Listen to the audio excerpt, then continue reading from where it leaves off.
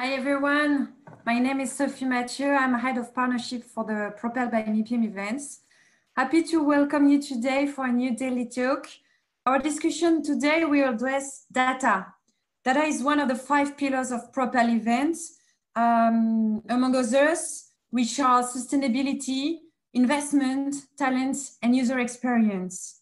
And to talk ethical challenges that property will face for, from data, I'm pleased to welcome today Dan Hughes, Director of Alpha Property Insight. Hi, Dan. How are you today? Oh, very good. Thank you very much. How are you? Good, thank you. Um, thanks for being with us.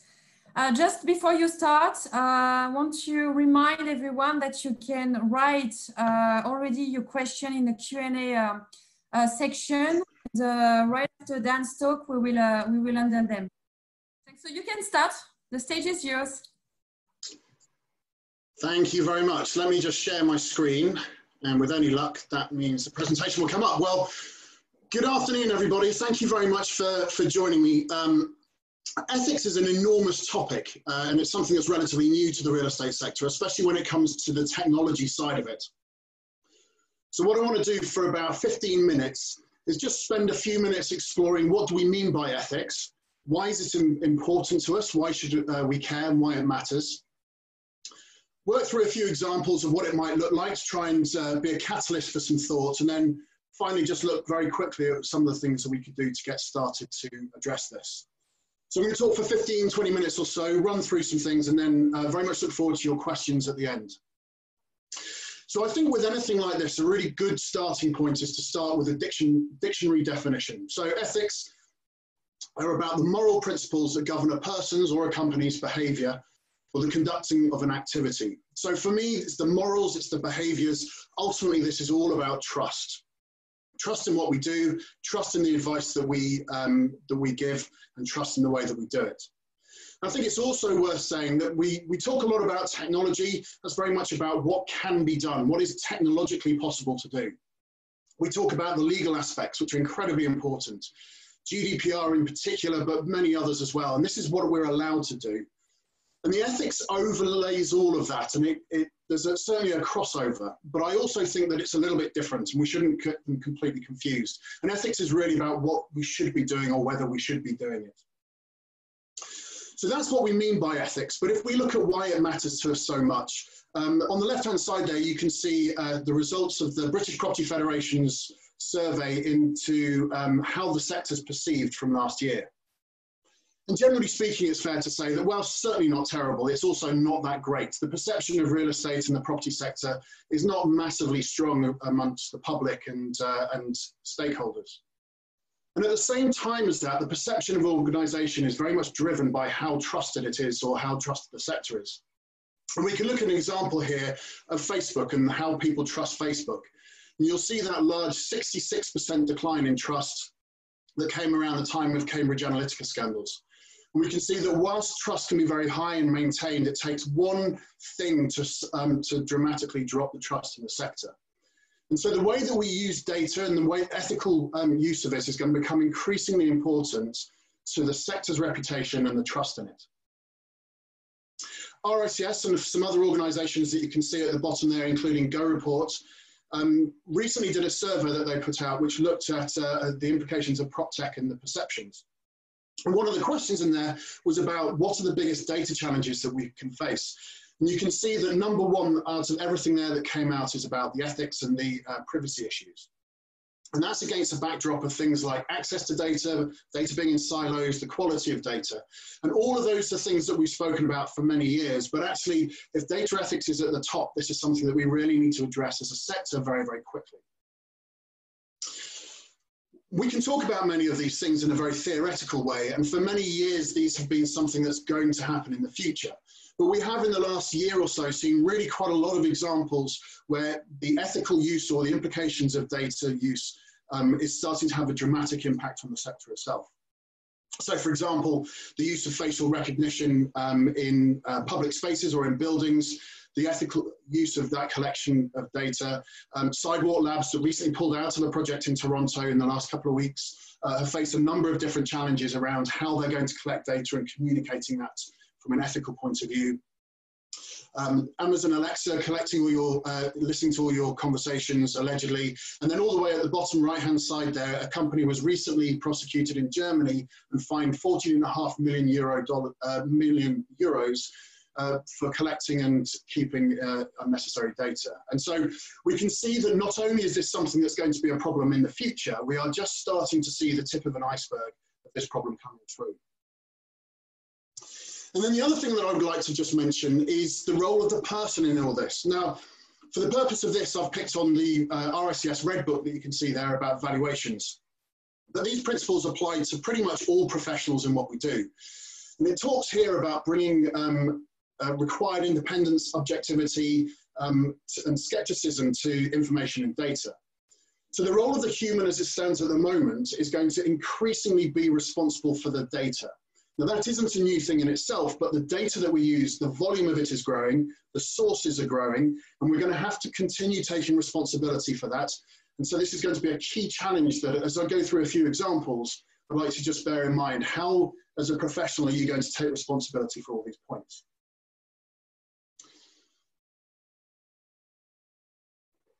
So what I'd like to do now is just work through some examples looking at what data we should collect or, or how we collect it, what data we use, how we use it, and then how we display it. And just pick on a couple of examples to really get um, thought process going about the ethical implications.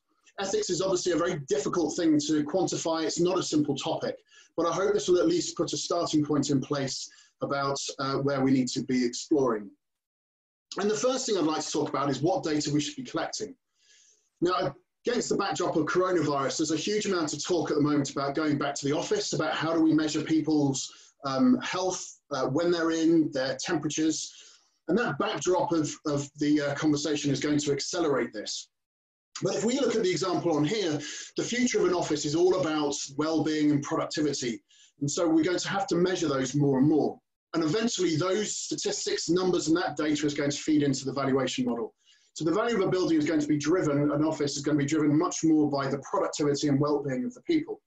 Now that's great, and we need data to inform that. So we can use, for example, facial recognition to understand who's in the building, where they're moving. We can detect whether they're happy or not and who they're talking to. We can use technology to increasingly track what people are doing on their computer, when they're typing, when they're logging in, um, and what sort of documents they're working on. We can use uh, biometric details to understand people's health and well-being within a building. And I think there's a very strong case for saying that the data taken out of all of those different types of measurements can feed into a much better valuation model. It will help us much better understand the, the value and the performance of a building.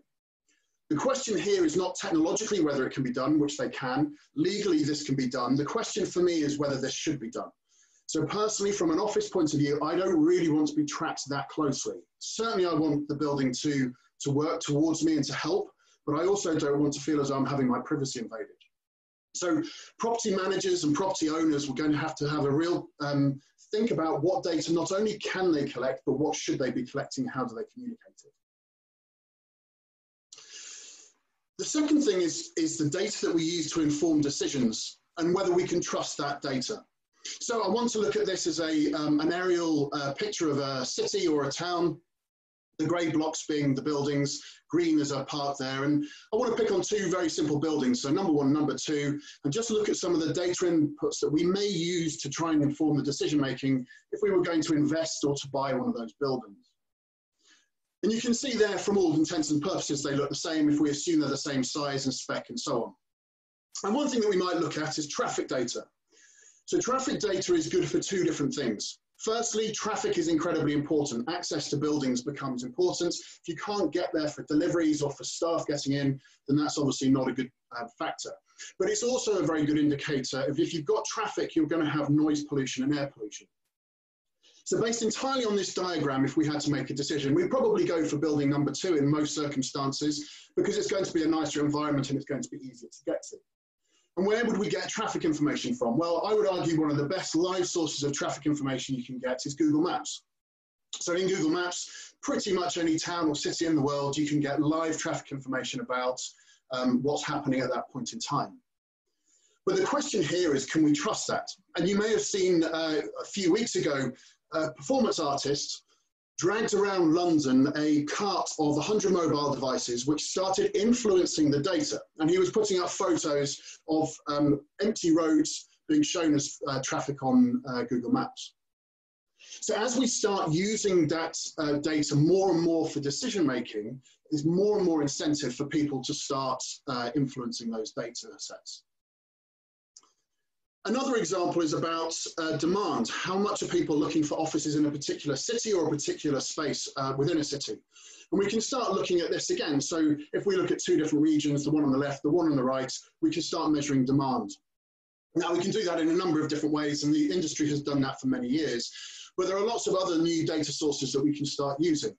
At the very simplest, we can, for example, look on uh, Google Trends to see what people are Googling for. So if they're looking for um, co-working space, in this case, uh, in London or co-working space in Paris. And we can start seeing that this gives us an idea of where the people are searching from and what they're searching for. But again, as we introduce these new data sets, how do we know that this is not being influenced? If, for example, you wanted to influence one or two, why not just spend a lot of time searching there to put the demand or appear to put the demand up? Another way that we can look at buildings, again, number one or two here, is that we can look at planning applications that have been submitted. So on the top right, you've got a gym, bottom right, you've got a, a, an open street cafe. In the middle, you've got a, a, rubbish dump. On the left, you've got a medical and drug center. Top left, you've got a power station. Now, today we will often look at planning applications that have been both submitted and approved to understand where an area is going. But we work on the assumption that a planning application is only put in because people want to build that. As this starts feeding into the decision-making process, more and more about a building, and again, if you're looking for an office site, perhaps you'd be more likely to go for two than one in this case. There's more incentive for us to start submitting data to try and distort or influence those decisions. And against the backdrop of all of this, um, all of these different examples, the person is going to have to be making a judgment and taking responsibility for that data being um, objective uh, to, a, to a reasonable degree. And that's going to build in some real challenges as we move forward as a sector. So the next thing is I want to take this a slightly different perspective and again ask whether we can trust uh, the data that we're seeing. Now, to do this, I've taken two research reports that were published last year, one by the University of North East England, the other by the River Institute. And without going into the ins and outs of what they mean, they're looking at the future investment. And uh, the top one there you can see says growth in Budapest and Warsaw. And the bottom one is really focusing on opportunity in the industrial sector. So based on this alone, you would say that uh, Budapest and Warsaw industrial uh, assets were, were a good place to look. The question is, how much of this can you trust? And the answer you probably won't be surprised to know is not a huge amount. So these quotes I made up completely off uh, the back for the purpose of this presentation. So we can't trust those. And in fact, these reports are created by an online report making tool which makes professional looking reports in a matter of minutes. So those reports don't exist. In fact, the University of North East England, the Rivers Institute are also organisations that don't exist. I put them into a random name generator and then I used a logo um, creator to create the logos for them.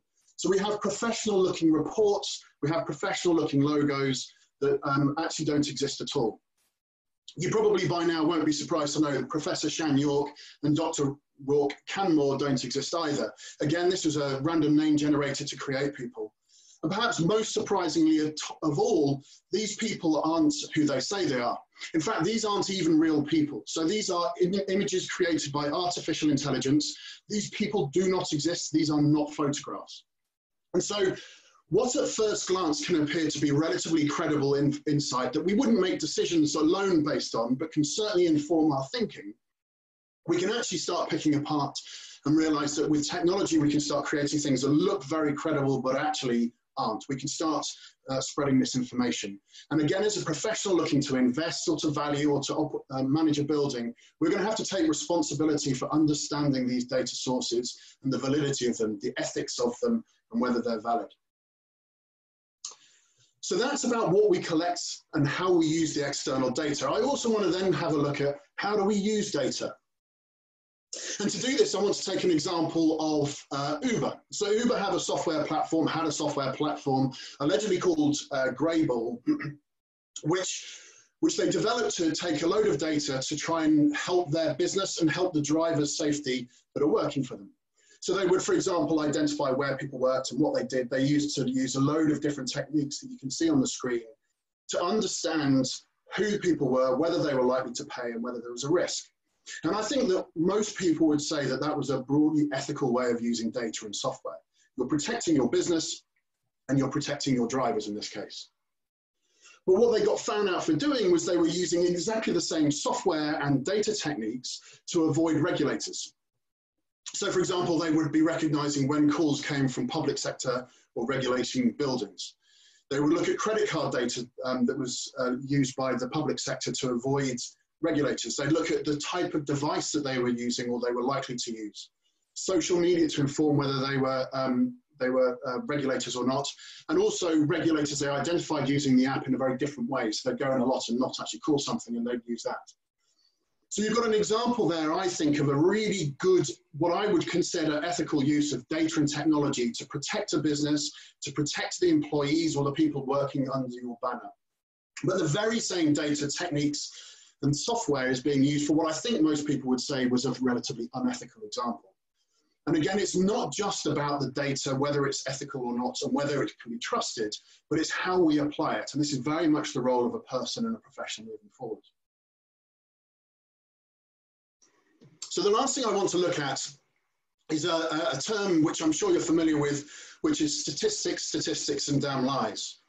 And it's about how do we present data to make sure that it comes across in a fair, objective, and ethical way. So, to give you an example, this is UK house price information taken from the UK government uh, for three regions that I've picked out as examples. So there you've got the northeast, which you can see is broadly speaking stayed flat. The eastern region, which has gone up dramatically in recent years. And then on the right hand side, the London area, which has gone down quite a lot all of this data is true, it's accurate data. but what I've done is through using different timeframes and different scales, is exaggerated and um, put a picture there of the three different areas behaving differently. if we look at the actual data underlying it, the, the raw data, you can see that this is a little bit of a different story. So for sure, the Northeast has stayed relatively flat, but the East really hasn't grown a huge amount in that time. And London may have had a very small dip, but really nothing dramatic. And so there's a very much an ethical responsibility for professionals, not only in how we use data, how we apply it, but also how we then present it to make sure it's telling us the story or telling our clients the story that it should be.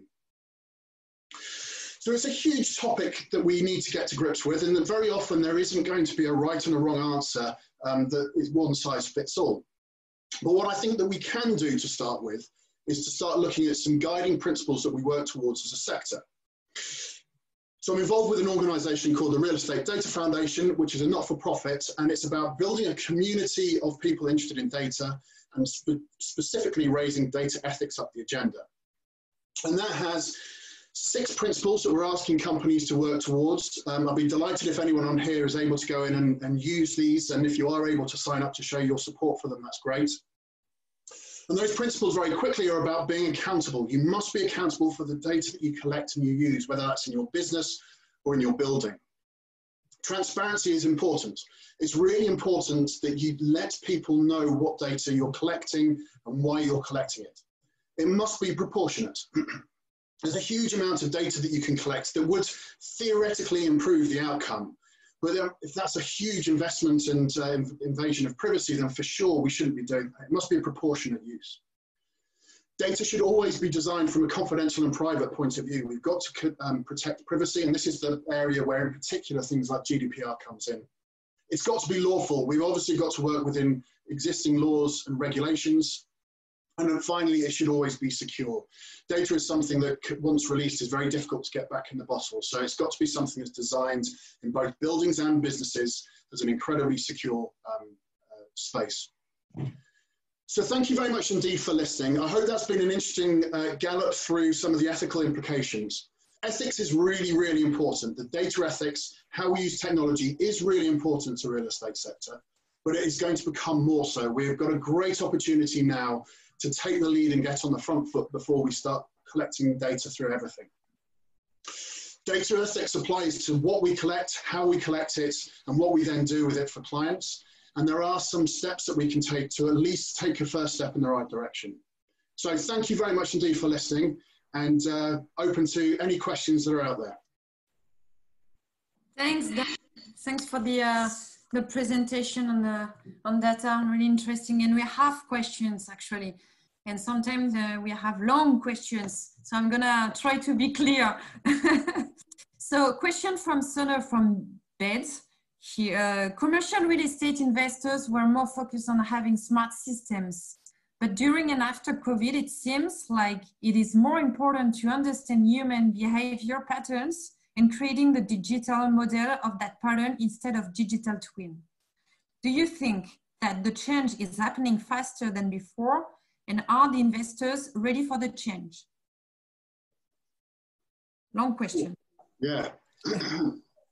so it's a really good question. Um, So, so I guess there, there were two, a couple of questions there. So one is, um, is it is it getting faster? I think, and the answer is categorically yes. So the speeds of um, data collection is is disproportionately growing. It's exponential, and, and that is only going to continue for many many years. I think a lot of data ethics that has, work has been done in other industries is about uh, the data that we collect through Facebook, as an example, or websites or apps. And buildings are becoming more and more connected. So they're no longer just dumb blocks that we work in or we live in.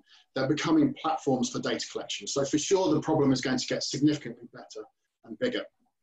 I would say that property investors, uh, to generalize enormously, and of course there are some very forward thinking and some less so, but I would say that generally they have taken quite a big step forward in the last few years to understand the value and the risk and the opportunity of data. And I think that property investors are now leading the way very often in how to behave and to look at this. I know a lot of property investors are very interested and supportive and exploring um, data ethics generally, as I think a lot of developers are.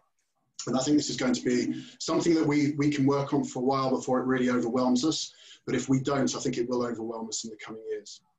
I hope that answers the question. I hope so. uh, the second part of the question was about the um, um, the uh, owners of, this, of the data. So what about who owns the data? Yeah, no, that's also a very good question. That's probably a separate presentation. Um, mm -hmm. so, so the, the ownership of data, there are two separate things here which get confused, I think. So there's the ownership of the data and there is the IP or the right to use it. And very often in the real estate sector, most of what we do, and not all by any stretch, but most of what we do tends to be based on uh, willfully ignoring that because we open and we recognize that data sharing helps us. So if you look at uh, the valuation process, if you look at lease comparisons, if you look at whatever it might be, it's built off, if by definition, looking at what's available in the market. Now, as we go through, there are two separate questions that we need to ask. Firstly, who owns the data in evaluation or who owns the data in the, um, the building that we collect it? It doesn't have to be the right uh, one single answer that's always applied, but it's essential that there is an answer because I think that's going to be a real challenge moving forward. In a few countries around the world, we've started to see that be challenged and it's starting to cause uh, problems. The second thing is making sure that we have the right to use the data. So it doesn't matter whether we own it or not necessarily, it's about being allowed to use it. And I think that's something that we're a little bit further ahead, but still we have a, a long way to go. I think it's also worth saying that most professional bodies, most professional regulation and standards do say that you ought to be using data that you have the right to use. In some shape or form, you ought to be responsible for it. And that poses a real problem because if, for example, professional indemnity insurance is looking at how we use data, if a professional body is saying you need to prove that you have the right to use it and we can't, that does start raising questions about how covered we are and how we operate as a business. And I think the second question I ask you is uh, pretty linked to that also uh, in terms of um, um, way to use the data. So how can we deal with G GPDR and at the same time, the data info we need about people in the context of COVID? Hmm. Well, I think that's an incredibly, well, it's an incredibly good question and it's an incredibly important one. I'm not sure there is an easy answer. From my perspective, I think one of the most important things to do is about transparency. So the very worst case scenario is that you collect huge amounts of personal data on a person uh, or a company or a building and no one knows about it and there's no reason for doing it. One of the expressions that's very often said, which I don't really like, is that data's the new oil. And one of the reasons I don't like that is because it encourages people just to try and get as much of it as possible. Now, sometimes it is worth collecting data that we can't use now because it'll have value in the future, but we really need to be very clear about what we're collecting and why we're collecting it. And then we've got to be very clear about how we communicate that to other people. And whilst I wouldn't claim to be a GDPR expert, I think that that will go a long way to, um, to helping and, and proving some of those challenges. GDPR uh, and, and, the legal side of things and ethics are absolutely overlapped. There is a, a significant mm. overlap between them. The point I wanted to make earlier is I don't think they are exactly the same thing. I hope that helps. So we switch to the next question from Roger. So to get um, good trusted uh, property data, should we rely on our established or presumably trusted property institution together and make that data available to subscribers about the quality and the source of the data? Hi, Roger. Thank you. Um, that, I mean, that's a great question. I think that um, I think that as an industry, so, so, real estate is different from most sectors, uh, and we often claim to be more different than we are. But one of the ways that we are very different is that we are absolutely enormous as a sector, probably one of the largest from an employment and investment and financial point of view. But we're made up of an incredibly large number of very small companies. Even the biggest real estate companies have a very small market share if you compare it to the largest companies in the IT sector, the finance sector, the pharmaceutical sector. Now that in many ways is a good thing and that, that puts us in a really good position, but it is different and it means that we, we can never have just a small number of organizations that can collect enough data to be really valuable. And so, so whilst this is true in other sectors, I think in real estate it's more important than ever before, and it's going to be more important than in other sectors to have trusted bodies who help collect, standardize, and, um, and share that data. Now, behind that, there are a number of questions. So, for example, um, data, if it's competitive advantage, may not be something that you want to share. Uh, if you don't want to share it, then why should you be made to? How do you give it to people? How do you demonstrate the value of that? Data standards is something that I'm uh, doing a separate piece of work on at the moment. And a large part of the challenge there is how do we understand what's available and how do we understand the value of, of data standards? So standards being used is much, much easier and quicker uh, if they're free and open.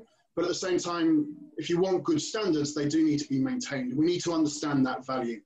So I think the answer is that certainly property sector institutions and organizations need to come together.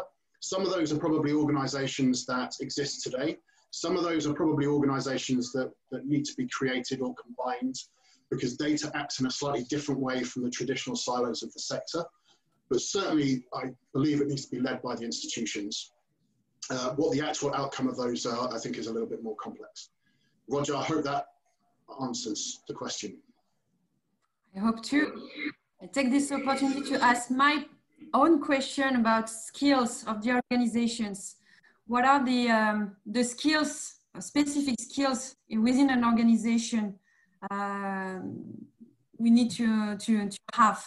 Is that different, you know, uh, in terms of uh, um, to, to, to deal with the data? Is that uh, different from uh, the way uh, organization are, uh, are, or do they have to adapt, create a department, recruit new talents? Um, yeah, that's a great question. I, I think, again, it, it, depends on the type of business. But if we look at a valuer as an example, then the valuer today, or at least the valuer of, of the past, is responsible for collecting the data, analyzing it, presenting it, giving the advice and the judgment. They do the whole picture.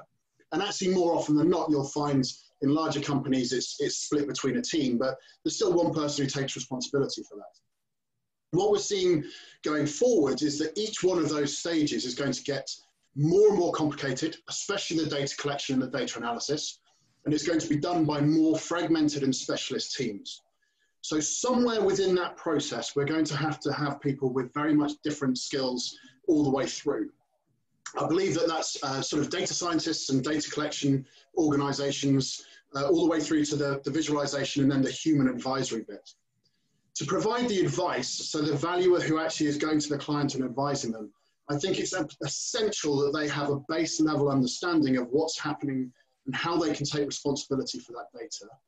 I don't believe they need to be a data scientist. The person who is giving that judgment needs to understand the market. Of course, they need to understand the basics of what's happening, but they're there to really understand the value of a property and work with clients to understand it. So I think that the entire sector is going to have to become more educated about data and technology at a basic level but that does not mean that we all need to go and start coding or being data scientists in the next few days. Okay, interesting. Okay, so we are, we are good for today. Um, thank you, Dan, for this great presentation and this uh, very big topic and strategic topic for the industry. Thank you all uh, for being with us today. Uh, I want to say that tomorrow is Friday, and Friday is the Frenchy Friday daily, uh, daily program. So the session will be in French uh, and we, uh, we will welcome Robin Rivaton. Um, so thank you again. Enjoy. Uh, thank you very much indeed. Be safe and see you tomorrow for the one that uh, wants to connect tomorrow. Thanks, Sophie, and thank you everyone for listening. Thank you. Bye.